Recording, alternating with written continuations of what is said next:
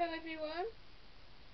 I'm here to um, talk about Sarah of Shabby Sarah's Shabby Chic Creations who's having an inspiration challenge and it ends the 1st of March.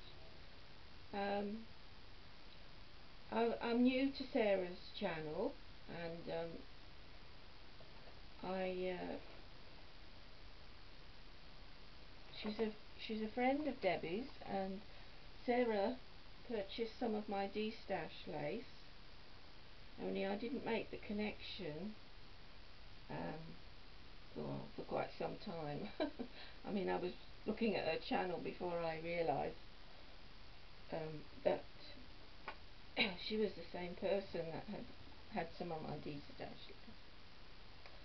and the the challenge is about what inspires you.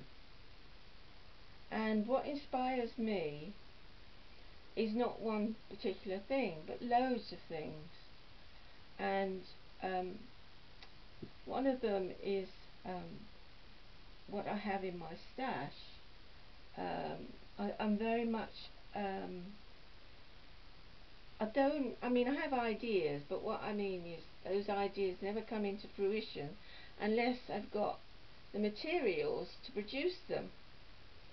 And um, and they very much um, are interpreted by what I have in my stash. So that's one of the things that inspires me. Um, another thing that inspires me is other crafters. They're so wonderful on YouTube. Um, I've never met so many uh, creative people and they are just wonderful. And they often inspire me to oh I could do that. But you do it in your own way in your with your own twist on it. Um, and that's inspiration. Um, what else? Now I've gone and forgotten now on the front of the camera. Well let me show you what I've made. Um, one of the things that Sarah talked about was um, that she was training to be a ballet dancer um, but she had to give it up. And one of the artists that she loved was Degas. Now that triggered something in my head when she mentioned Degas because I studied art um, at college and um, I absolutely love art. And the Impressionists are one of my favourite era. And I do actually have a Degas, it's a print, I have a Degas print in my bedroom. And um, and greatly lo just love, love, love, love, love.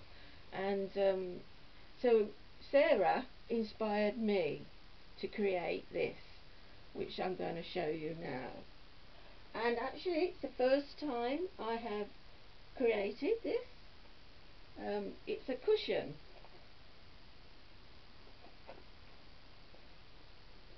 There we are. And it has one of Degas famous paintings on the cover um, on the cover on the front. Yeah. So thank you Sarah. Thank you for inspiring me. Um, I just had to I just had to have one of his images and I selected a few but this is the one I went for in the end. Now I made this cushion by um, picking out two pieces of silk. Uh, one was plain and one was embroidered. I put the plain silk on the front and uh, covered it in some lace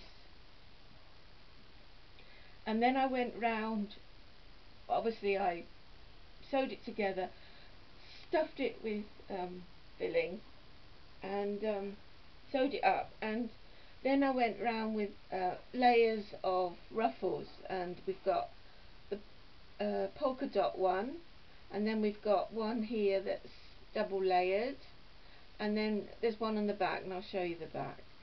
Um, so the image went oh I actually stitched the image on before I uh, that was the first thing I did on the uh, silk lace. And um, and then we got the pearls all around the edge and then I put these appliques around the picture and they were ones that had these flowers already on them. And then I put some pink pearls. I wanted to not to over make it pink.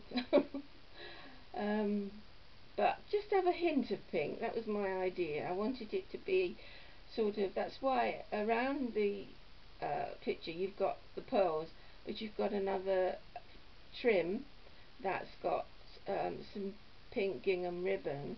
There's also another trim underneath that which is uh, yeah if you can see that. And um, so I and then the, finally I put this flower in the corner um, with the pearl and then I made some dangles. Well I say I made some dangles. I wanted to have dangles um, just going down the side. So we've, got um, we've got a trim we've got some lace we've got some sari silk we've got some pink ribbon and more lace. Yeah so so that's it. That's my cushion. Thank you Sarah. I hope you like it. Um, right.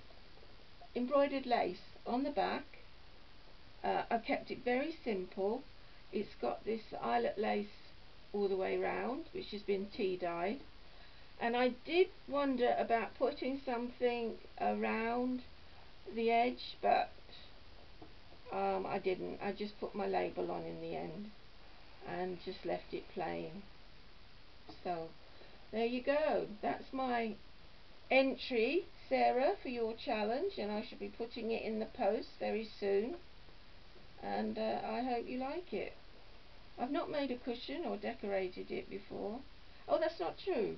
Actually years ago I did do some uh, wedding ring cushions. Um, yeah I did enjoy that right okay well that's me done. Don't forget pop over to Sarah's channel. Um, it's not too late if you get if you're quick and in the UK you could enter. Um, and um,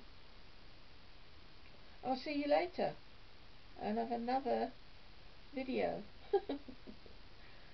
I'll put the link to Sarah's channel in the description box. Bye for now